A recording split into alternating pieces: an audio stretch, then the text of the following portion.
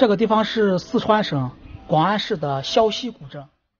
萧溪古镇地处大巴山腹地，这古镇非常的原生态，没有经过开发，它就是一个非常安静的山中小村庄。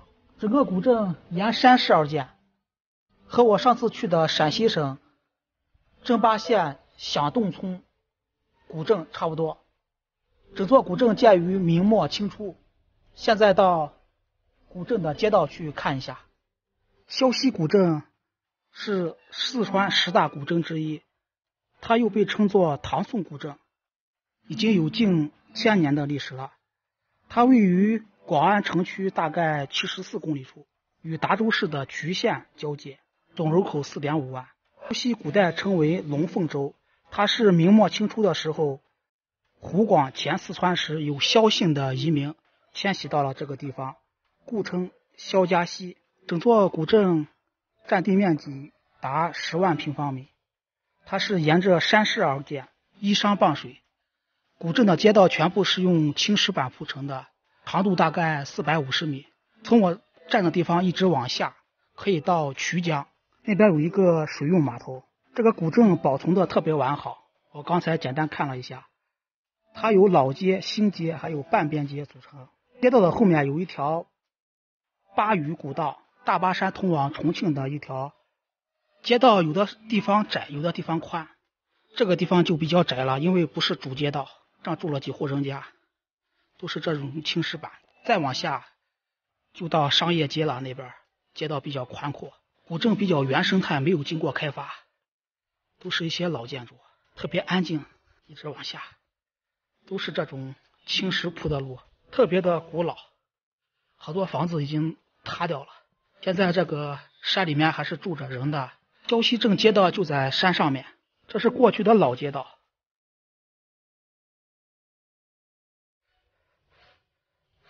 这些都已经塌掉了，房子。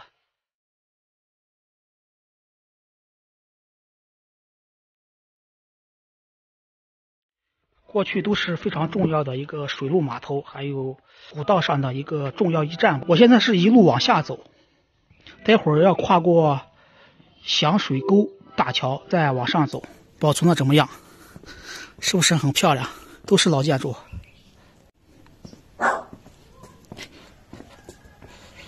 这都是石板台基，这个院子都保存的特别好，四合院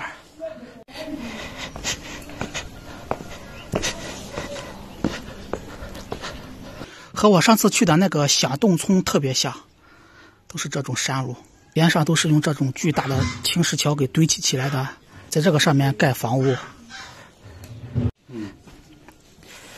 到人家家里来看一下，这是过去的四合院，都是古木结构的房子。师傅，这个房子现在还有人住吗？没人住了，我看，没住了。这房子有多少年？这上百年了是吧？我感觉，对，它是，对，对对对，对，他说这个师傅说原来这这里是个戏楼，对对对，对对对，这是新建的是吧？这个后来，哦，全是砖转着走，原来就是个阁楼呗，就要转着走，对。谢谢谢谢，下边是青石条，房子全部建在这，用那个木梁还有木板，对，这样看看的比较清晰。对对对，它整个等于说没有，都是用这个木头盖成的，是吧？全是木头，没有土感觉也，全是木板。对对对，对对对，那上面也是那竹席，好像封过的。对对对对对，好，谢谢您，谢谢谢谢，好，感谢感谢，都是一样的感觉。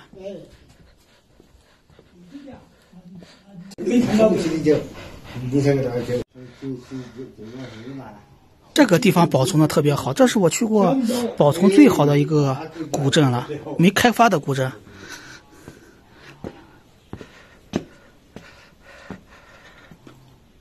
路两边全是这种大青石条，还有石板路。过去这也是一项大工程，建这个村落。原来这边都是一些住户，这是上去的路。好多房子都已经不在了，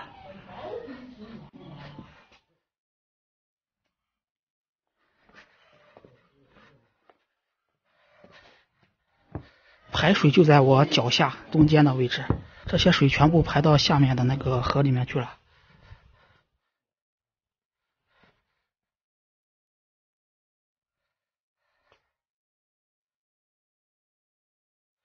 对，这个房子有多少年了？您这家？大哥，我们这房子很多年了。一千多年了。比那边古城的老一些。哦，比那边还老。里面能看，让看一下。谢谢啊。哦，一进来就是客厅，这还有个二楼的隔断，从可以上到二楼去。阁楼，不要看外面，里面啥都有，冰箱，这全部是木头建的，砖木结构是吧？对，这个是砖木结构。他说他家的房子已经有一千多年历史了，是这边最老的一个地方。这个角上，上面挂的全是腊肉和腊肠。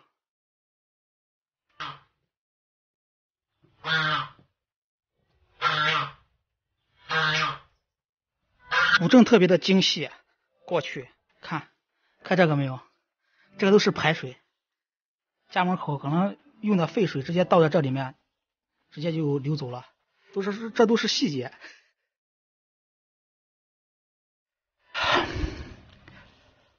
好多人来只在前面那个古镇街道上逛，很少来这边。我刚才是从前面一直走过来的，到这边，这边保存的是最好的，比那边的街道还要老。现在到古镇的街道去逛一下，那边路比较宽，现在正在改造，房子比这边要阔气的多，叫老街，那边叫新街，但是那个新街也是非常古老的街道。最早人肯定是住在这个地方的，然后在那边。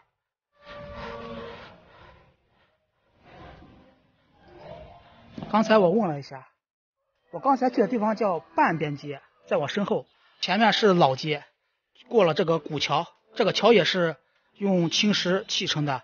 这个地方台阶上去还有一个民国的老街，都是保存比较好的。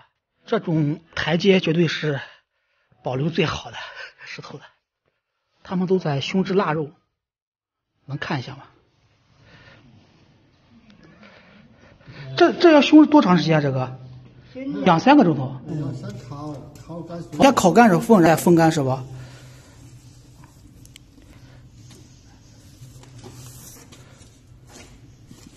这是用大水桶做的一个简单的烤炉，烤两三个小时，把水分烤干之后，再去自然的风干。最高了。都没见过。哦，那个细呀，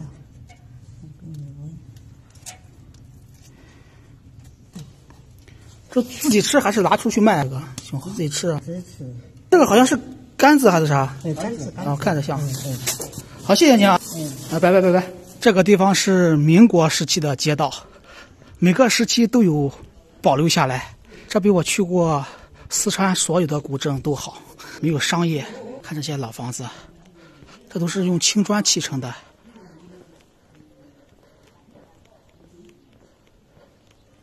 吃过了。嗯这个房子是哪一年的？我们那是八几就修的，那些就是解放前修的。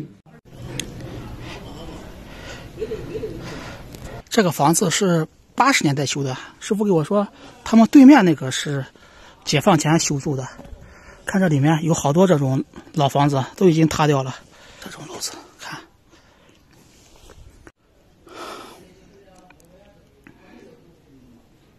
过去这边都是交通要道，可以去广安，可以去重庆，走水路、走旱路都行。这个桥下面是响水沟河，都是古桥，边上还有一些雕刻，已经风化掉了，都是雕刻。桥的宽度大概四五米，长度二十米，连接着老街，还有半边街和民国街。上面那个街道就是比较大气的那种了，就像过去那种，可能是主街道吧。看一下，这边是半边街，这边是民国街，分岔路上去。街道正在修路。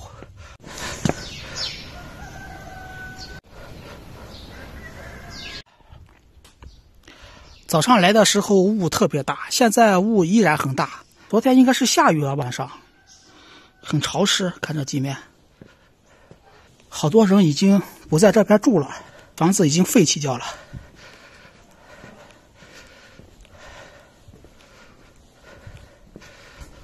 再往前拐一个弯，那边街道非常的大气。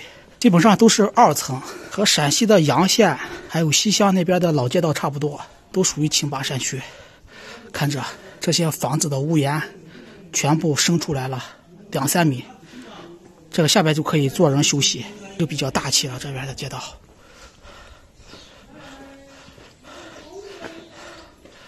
街道宽度三米，上面各自出来的屋檐特别好看。房子基本上都是住人的，像那种像阆中古城还有昭化古城那种纯商业的，这都是当地人住的家。可能害怕发大水吧，所以这个地面要比下边高多了。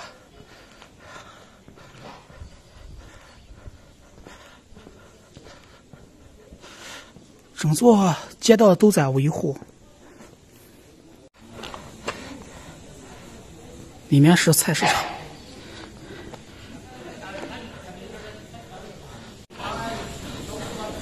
想来这边可以从广安的汽车总站，就是汽车北站，坐大巴车过来，六七十公里路。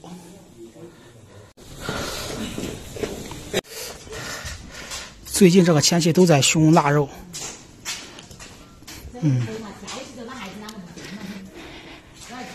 啥都有，这个熬回火，这个要熏制多久？几个小时。这个必须往里面加那松叶是吧？我的老家是哪里的？陕西。陕西的陕西提香的嘛？那就是白树叶啊。啊，对。可以增香。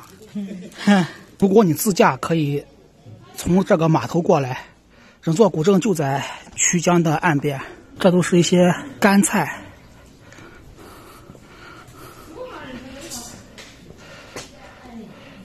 曲江码头，曲江是嘉陵江的一条支流，沿着曲江可以到广安市区，还可以去嘉陵江，到重庆去。过去水路比较发达，这边航运。师傅，这个船现在还能坐不？可以到哪里去？这个可以到哪里？去玩是吧？哦，这坐坐一次多少钱？八十。好了，各位，今天到了广安市的萧溪古镇。逛了一下这边的半边街、民国街，还有老街，保存都挺好的。看了一下当地人熏制腊肉，我是第一次见，近距离看，真没见过。